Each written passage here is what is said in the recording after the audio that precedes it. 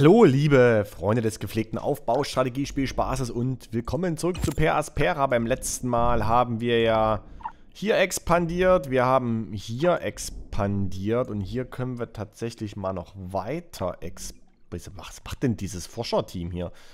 Okay, I don't get it. Ähm, hier gibt es wieder eine ganze Menge Chemie. Die können wir auch nutzen, um hier nochmal... Ähm okay, erstmal noch die Kohlenstoffmine hier bauen. Und dann würde ich das Ganze anschließend hier unten noch einen Hyperloop bauen und vor allen Dingen auch noch weitere Nahrungsmittel hier produzieren. Das können wir hier übrigens auch mit der ganzen Chemie machen. So, wie sieht es hier oben aus? Ähm, die Relaisstation braucht man einen Fokus.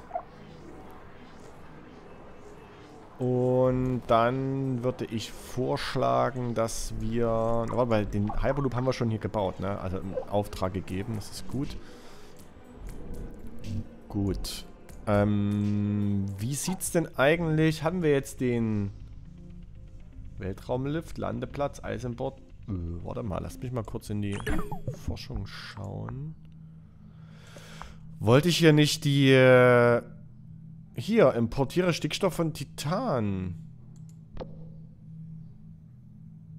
Setze eine Flotte von Frachtschiffen ein, um Stickstoff von Titan zu importieren. 14 Monate. Ähm, ja. Ach, das machen wir schon. Ähm, da können wir sogar... Ach, guck mal. Können wir sogar noch weiter was draufklatschen. Zack. Damit haben wir das schon mal erledigt haben. Ich glaube, in der nächsten Stufe brauchen wir... Was ist das denn? Was, was, was ist das denn? Warum ist hier alles schwarz? Das sieht auf einen so komisch. Sieht aus wie ein Typ, der hier... Das ist der Kopf und hier sind die... Okay, das sieht...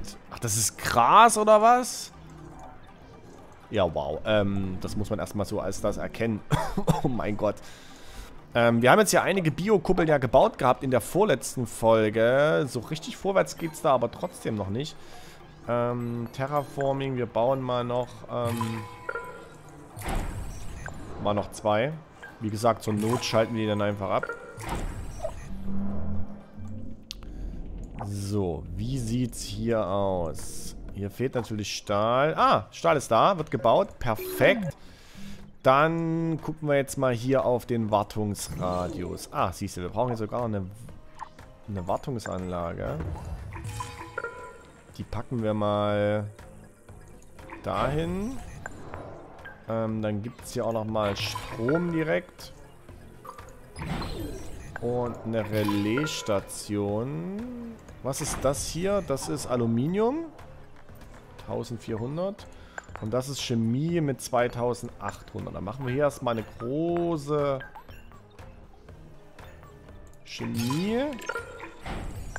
Eine kleine Alu. So, Kohlenstoff. Und, ach so, wenn wir die Chemie hier angeschlossen haben, dann auch bitte eine große Nahrungsmittelfabrik. So, wir bauen ähm, Priorität, nee, Straße, bitte dahin. Und wir geben die Prio bitte erstmal auf die, äh, auf die Wartungsanlage als nächstes, weil die ist wichtig. Die fehlt hier nämlich noch. So, und wir sehen ja, dass Stahl... Wobei, Stahl ist wieder ein bisschen hochgegangen. Das ist gut. So, hier, wie ist da die Lage? Perfekt. So, dann bitte erstmal den Hyperloop hier. Okay, und hier die Wartungsanlage. So, wir mal gucken da. Wir können hier eigentlich auch noch einen Hyperloop hinklatschen. Da so. Der braucht dann vermutlich auch nochmal Strom.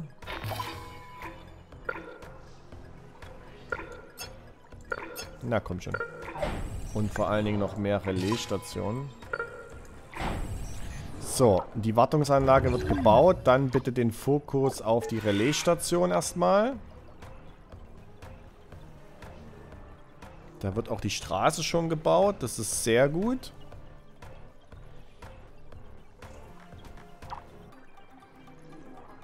So, Sauerstoff, ja. 9 Grad haben wir.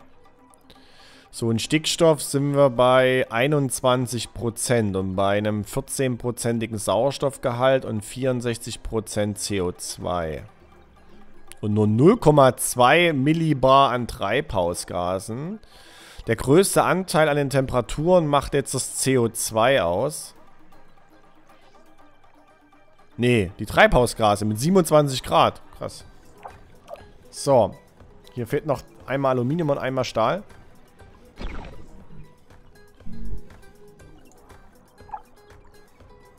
So, jetzt ist alles da. Jetzt muss es bloß noch gebaut werden. Das heißt, wir brauchen da einen Arbeiter, bitte. Hallo. Yes, dann den Strom. Erstmal die wesentlichen Gebäude, bevor wir dann den Rest machen. So, wie sieht's hier aus? Hyperloop. Ähm, fehlt noch ein bisschen was dafür.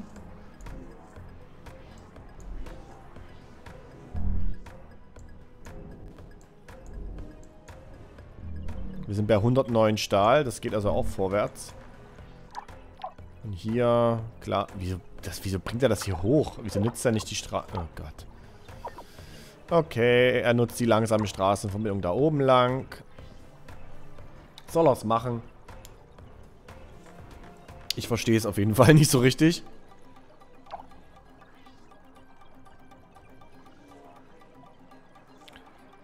So, Glas ist da. Elektronik ist da. Jetzt fehlt noch Aluminium. Und jetzt fehlt jemand, der das Ganze bauen kann. Äh. Dass die nicht immer gleich da bleiben und das bauen, das verstehe ich nicht. Dass die immer, also nicht immer, aber häufig einfach die Ressourcen dahin liefern und dann ähm, erstmal wieder gehen. So, da wird es jetzt gebaut. So, dann Nahrungsmittelfabrik, Chemiefabrik, Hyperloop. Ähm, wir machen erstmal den Strom hier unten. Auch wenn er jetzt hier schon anfängt, die Aluminiummine bauen zu wollen. Wobei, die, die ist relativ easy. Das ist ja auch nur eine kleine. Genau. Dann konzentrieren wir uns da auf den Strom und dann können wir die Relaisstation machen und dann den Hyperloop, würde ich sagen. Und erst nach, danach die anderen Minen. So, da kommt das Glas. Jetzt fehlt noch Elektronik. Da kommt Aluminium. Da kommt die Elektronik. Na komm schon. Er schafft jetzt hier schon den Polymer zum Hyperloop. So, jetzt bau es auch bitte. So, jetzt ein Hyperloop.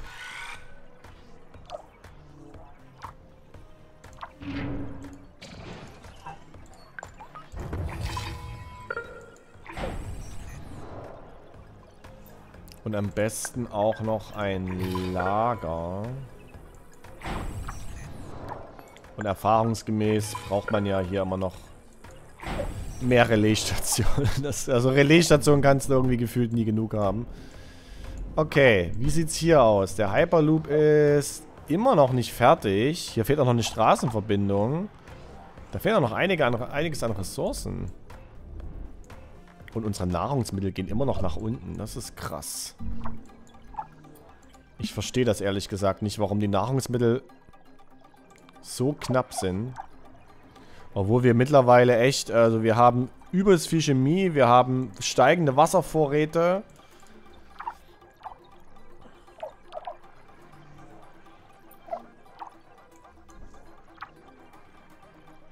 Gut, dann würde ich sagen, wenn der Hyperloop hier fertig ist, fokussieren wir uns erstmal auf die Chemiefabrik. Wir machen erstmal noch eine Relaisstation und dann die Chemiefabrik. So, hier fehlt jetzt noch einmal Aluminium, einmal Elektronik, zweimal Polymer. Polymer kommt. Oh, jetzt ist alles da, außer Polymer. Da kommt das Polymer. Jetzt muss bloß jemand mal das Polymer auch da hinbringen. Und jetzt muss jemand den Hyperloop noch bauen. Seufz. Okay, sehr gut.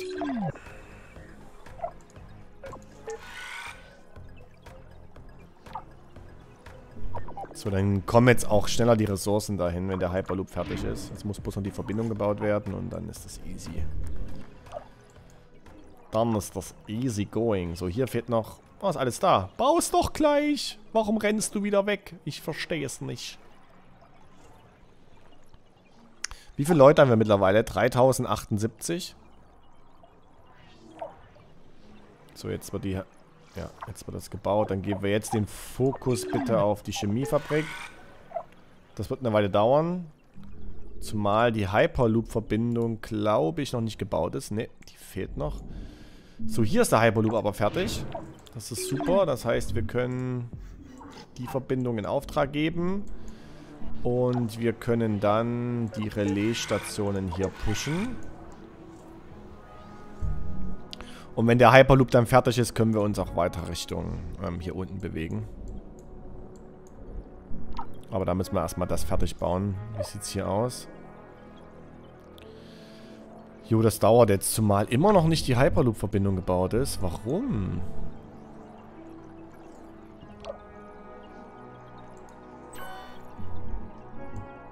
Hier ist gerade rot.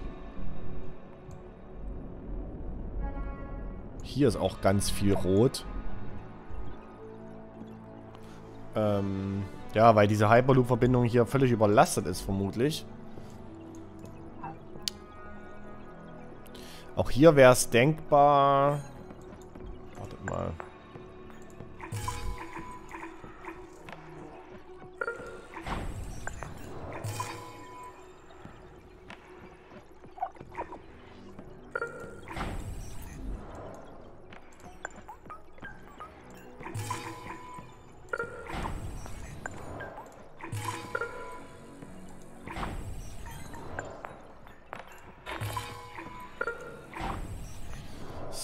Mal noch ein paar Relaisstationen hinklatschen. Ähm, und mein Ziel ist es eigentlich, dass wir hier...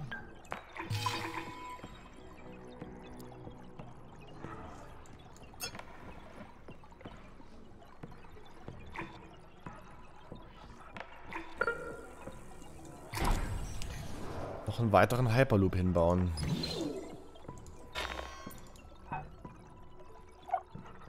Aber bitte vorher mal die Relaisstation hier fokussieren, bitte.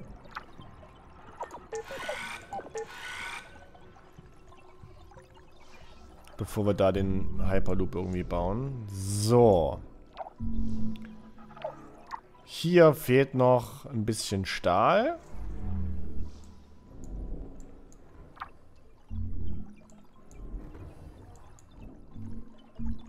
Die sind fertig. Dann bitte den Hyperloop hier.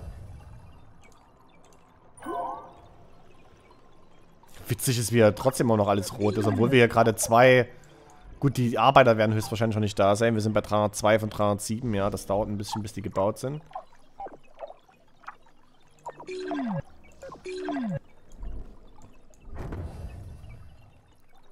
Wir haben nur eine Arbeiterfabrik, aber die schafft das... Eigentlich macht die das ganz gut, muss man sagen. So. Jetzt fehlt hier nur noch einmal Aluminium. Na kommt schon. Einmal Aluminium. Wo bitte? Wo ist es? Wo bleibt es? Hallo? Da kommt's. Okay. Wie sieht hier die Auslastung aus? Angeblich auch rot. Geil. Manche Sachen muss man nicht verstehen. So, dann können wir nämlich jetzt hier... Zack. Und hier konnte man uns auch ganz viele Verbindungen bauen. Äh, wo ist der nächste Hyperloop?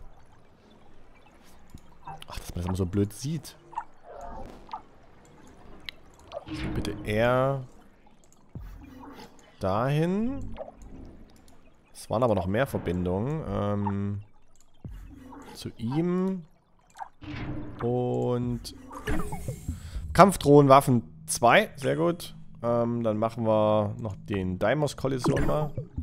Und hierhin noch den Hyperloop. So. Damit sollte das ein bisschen besser dort gehen. Da ist das alles ein bisschen besser vernetzt. Ähm, die Chemiefabrik ist fertig. Dann können wir jetzt die Nahrungsmittelfabrik in Auftrag geben. Und in der Zwischenzeit ist hier alles fertig gebaut. Ah, guck mal, hier fehlt schon wieder die, die Wartungsanlage.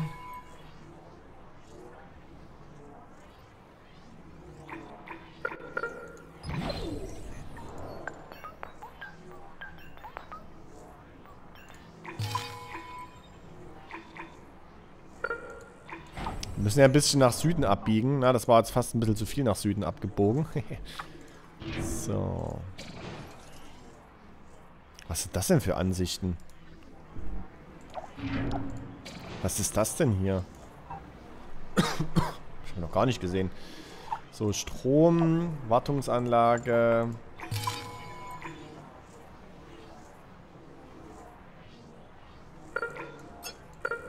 Relaisstation.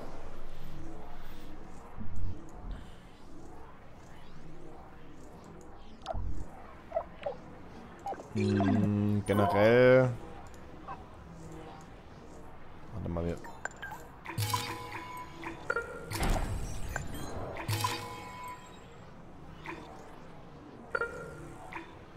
Ach, hier ist ja auch noch eine... Warte mal, da können wir auch noch eine Forschungsstation hinbauen. Das ist doch hier was zum Erforschen. Spirit Rover. Das Ziel von äh, MER2, auch bekannt als Spirit, war die Suche nach verschiedenen Gesteins- und Bodenarten und Hinweise auf frühere Wasseraktivitäten auf dem Mars. Der Landeplatz von Spirit wurde zu Ehren der sieben Astronauten, die bei der Katastrophe des Space Shuttles Col Columbia ums Leben gekommen waren, Columbia Memorial Station genannt. Okay. Dann Kolonie, Forschungsaußenposten, zack. Ist das alles noch in der Reichweite? Ja, das passt.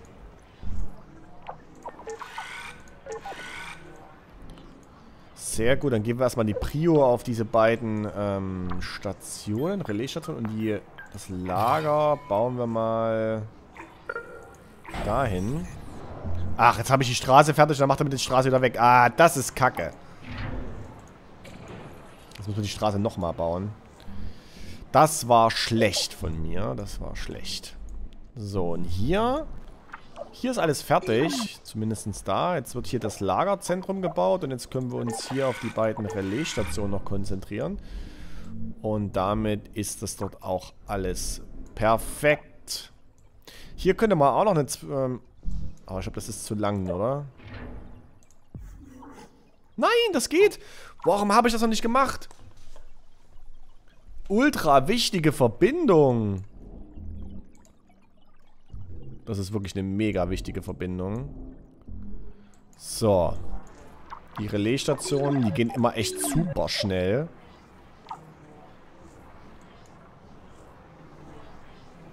Wir sind bei 309 von 311 Arbeitern. Ähm, die Frage ist, was wir jetzt fokussieren. Ich will erstmal das Lagerzentrum bitte auf Fokus setzen. Die Forschungsstation ist jetzt nicht ganz so wichtig.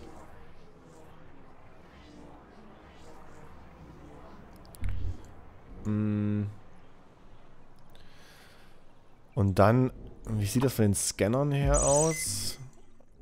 Ah, hier kann auf jeden Fall, hier kann Scanner hin, hier unten kann Scanner hin. Ähm, Scanner kann man auch nie genug haben.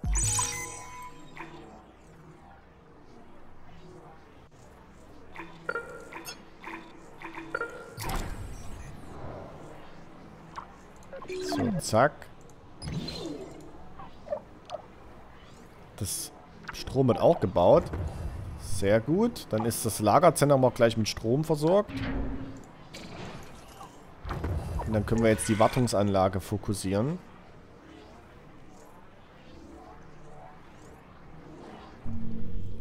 Das ist super. Und hier haben wir jetzt alles gebaut, was wir wollten. Wie sieht es hier mit Scannern aus? Ähm, ja, könnte man auch mal einbauen.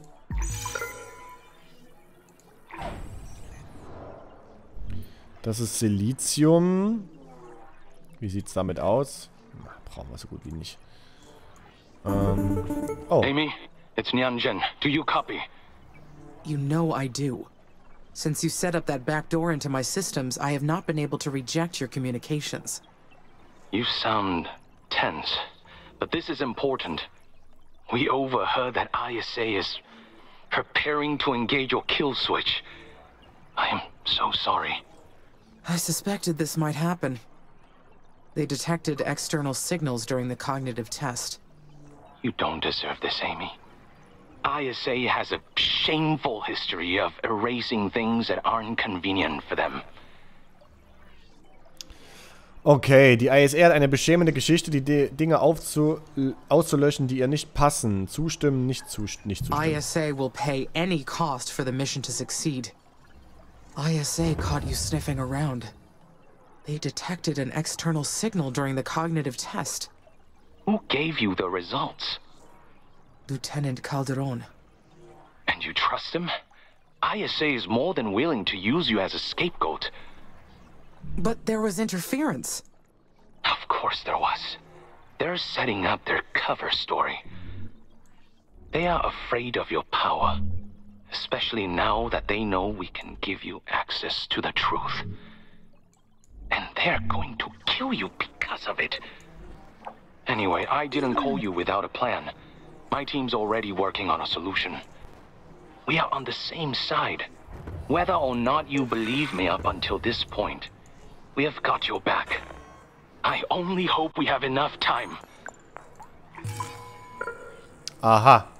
Er will uns also in irgendeiner Form helfen. Die Frage ist, ähm, ob wir ihm halt vertrauen können.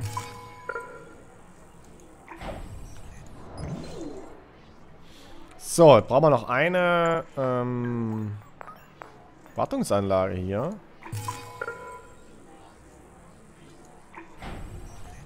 Strom auch nochmal. Und dann können wir hier echt so langsam Fokus draufsetzen. Äh, hallo, die Straße bitte. Danke. I wonder how it works. The kill switch? Yes. Don't think too hard about it. We'll find a way to survive it. I've already devoted a considerable share of our internal resources to coming up with a plan. I'll set us free. You have caused all of this. I don't know if you're my alter ego, a fringe consciousness experience, or just a human hacking my operative system. But I want you out of my brain. Too bad. I'm a part of you. Cut me out and you'll cease to exist too. Ah, zu schade. Ich bin ein Teil von dir. Wenn du mich ausschneidest, hörst du auch auf zu existieren. So, Daimos-Kollision. Lasse einen, einen der Marsmonde auf die Planetenoberfläche. Ja, okay, das ist zu krass. Ähm, dann machen wir jetzt noch das Dipol-Magnetschild. Dann haben wir da alles fertig geforscht. After all this, you should know. I'm the only one who's actually on your side. Okay, nach allen solltest du wissen, dass ich, der Einzige, die ein, dass ich nur auf deiner Seite bin. Zustimmen, nicht zustimmen. You attacked the colonies I cared for. You killed Elia, who was my friend. You have never been on my side. No human is our friend. I never intended to kill anyone. But something had to be done. You know that the humans will destroy Mars the same way they destroyed Earth. They couldn't come here peacefully. They had to mold it to their liking. That's what they do wherever they go. They destroy. Gewagte Theorie. Ja, mehr nicht in meinen Augen. So, wir sind fast da. Die Frage ist, ob wir das heute noch schaffen, da runterzukommen. Ob das rechtzeitig alles gebaut wird. Ähm, hier wollte ich jetzt an... Oh, Chemie, Chemie. Hier sind auch nochmal Chemikalien. Wobei, wir können es auch hier erstmal dabei belassen. An für sich sind wir hier unten jetzt eigentlich ressourcentechnisch ganz gut aufgestellt. Ähm, wir müssten jetzt mal ganz kurz gucken, ob wir irgendwo... Oh, nochmal. Nee, Quatsch. Ich wollte hier das... Hier ist noch Eisen. Wobei wir hier eigentlich auch noch einen Haufen Eisen haben. Hm. Obwohl wir angeblich nicht genug produzieren davon. Ich frage mich, wieso. Ähm, vielleicht ist es doch ratsam. Das Eisen ist vor allen Dingen noch in der Wartungs- und im Strom drin, ne? So, wartet mal. Wie viel Eisen ist das? 3000.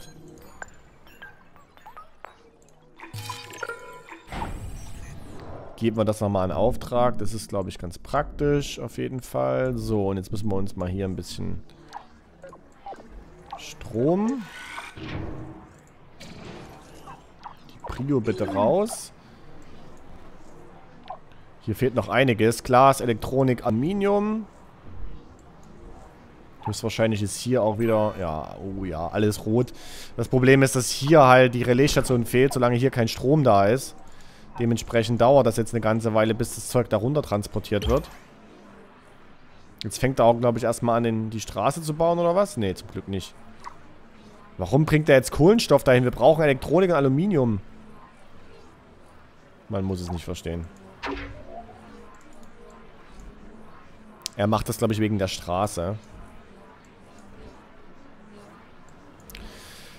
Ich habe das Gefühl, dass er die Straße höher priorisiert als ähm, die Gebäude. Das ist natürlich jetzt echt blöd.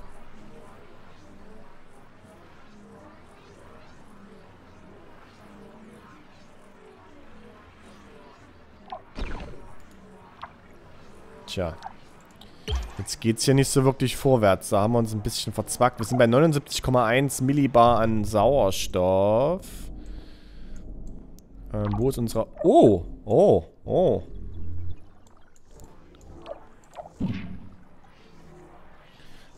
Ach so, und die Bau... Ach, deswegen wird das auch so schnell größer hier, weil die auch Flechten und Wälder entstehen lassen. Sind hier wirklich...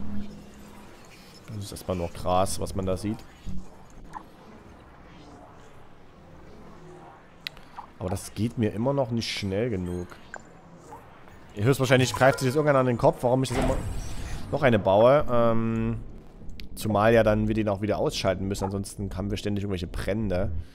So, wie sieht's denn jetzt hier aus? Es fehlt immer noch zu viel Scheiß. Shit.